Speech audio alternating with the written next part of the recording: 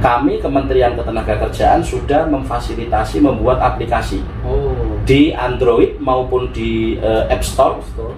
dengan keyword jendela PMI. Jendela PMI. Itu bisa di-download secara gratis. Semua kami sajikan di sana dari bagaimana cara kerja ke luar negeri, Mhm. dari bagaimana melakukan eh, pendaftaran eh, jamsos Iya. PMI, klaimnya bagaimana, termasuk di situ bisa mengecek PT ini resmi atau tidak resmi Oh, dari aplikasi. dari aplikasi jendela PMI. Jendela PMI itu. Nah itu bisa di-download secara gratis. Assalamualaikum warahmatullahi wabarakatuh. Apa kabar? Semoga sehat semua ya. Hari ini saya sangat beruntung banget bisa eh, bersilaturahmi di gedung Kementerian Ketenagakerjaan di Jakarta. Jadi kita langsung aja berkenalan dengan Pak Abdul Karim. Boleh Pak dijelasin secara singkat sampai namanya kemudian statusnya di sini? Oke.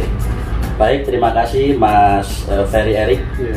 eh, salah satu PMI kita yang nyambi menjadi youtuber Iya. atau youtuber yang men- nyambi menjadi PMI ya itu Mas Erik nanti yang bisa mendefinisikan. Perkenalkan saya Abdul Karim eh, saat ini dipercaya di bina penempatan dan pelindungan pekerja migran Indonesia tepatnya di bagian kelembagaan sebagai koordinator yang menangani segala hal yang berhubungan dengan kelembagaan termasuk di dalamnya eh, perizinan eh, perusahaan penempatan pekerja migran Indonesia atau disingkat dengan PDKMI. Hmm, Oke Pak, Pak mumpung saya ketemu di sini kan jarang banget, nggak gampang atau nggak setiap orang punya kesempatan untuk ketemu sampean. Pak. Saya pengen nanya-nanya saya sebagai perwakilan PMI atau TKI nanti kalau saya Ya. eh, keliru ngomongnya.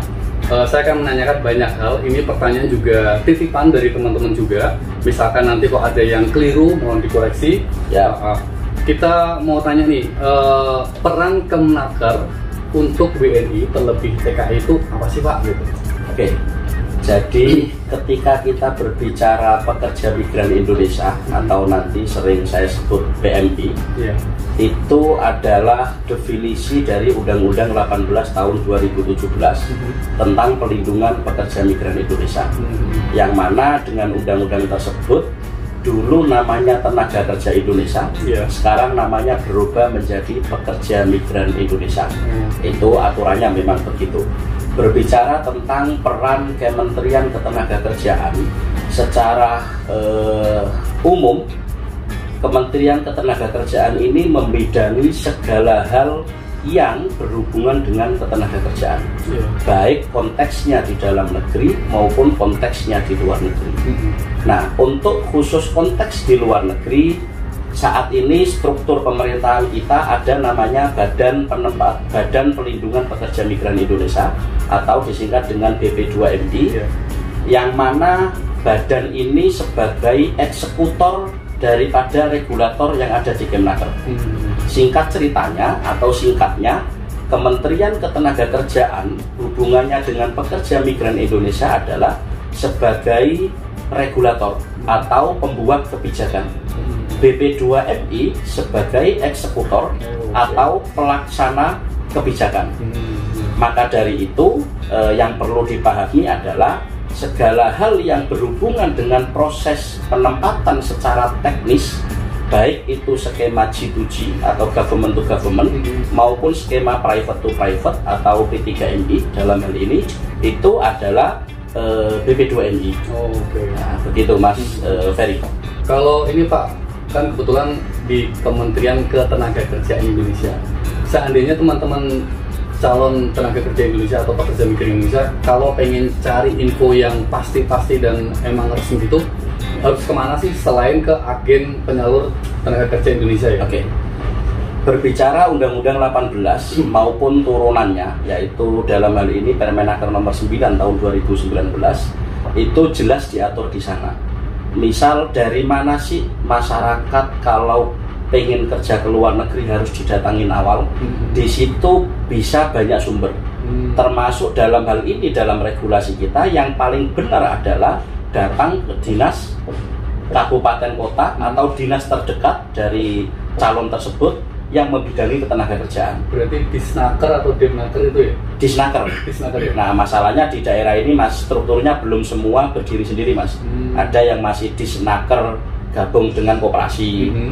Artinya belum berdiri sendiri sebagai dinas ketenaga kerjaan. Hmm. Jadi masih bergabung dengan eh, instansi lain, Jadi- entah pariwisatanya, entah koperasinya. Hmm. Intinya datang ke dinas yang membidangi ketenaga kerjaan. Oh, Di setiap dinas itu ada pejabat atau eh, pegawai pengantar kerja. Hmm. Bisa ditanya di sana. Oh. Itu secara resminya.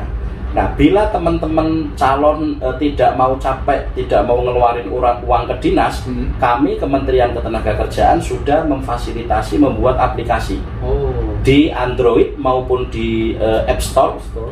dengan keyword jendela PMI. Jendela PMI. Itu bisa di-download secara gratis. Semua kami sajikan di sana dari bagaimana cara kerja ke luar negeri, Hmm. dari bagaimana melakukan eh, pendaftaran eh, jamsos Ya. PMI, klaimnya bagaimana, termasuk di situ bisa mengecek PT ini resmi atau tidak resmi Oh, dari aplikasi. dari aplikasi jendela PMI. Jendela PMI itu. Nah itu bisa di-download secara gratis. Hmm. Itu adalah aplikasi miliknya Kementerian Ketenagakerjaan. Hmm. Kebetulan saya sendiri yang menghandle aplikasi itu Hmm. guna memberikan informasi yang valid dan dapat dipertanggungjawabkan untuk masyarakat. Hmm. Jadi kami pastikan informasi yang ada di jendela PMI itu karena menunya sangat banyak sekali Mas Ferry Nah, itu bisa dicek. Misalnya ada informasi atau misalnya eh, saya eh, dari daerah A, Mhm. ah saya nggak pengen jauh-jauh, eh, nggak mau ke dinas, pengen langsung ke PT, silakan dilihat di situ. Oh, di situ juga. Ada menu P3MI, diklik. Nah, tinggal misalnya saya di Jawa Timur.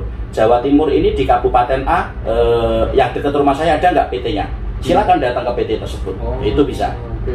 Bisa ya. juga informasi itu dari website-website yang bisa dipertanggungjawabkan Hmm. termasuk website Kementerian Ketenagakerjaan kita atau pasar kerja kita. Iya, iya. Nah, artinya eh, informasi-informasi yang dimuat oleh eh, apa namanya eh, website-website yang resmi dan eh, itu milik kita. Itu insya Allah valid dan Oh. kami pastikan bisa dipertanggungjawabkan.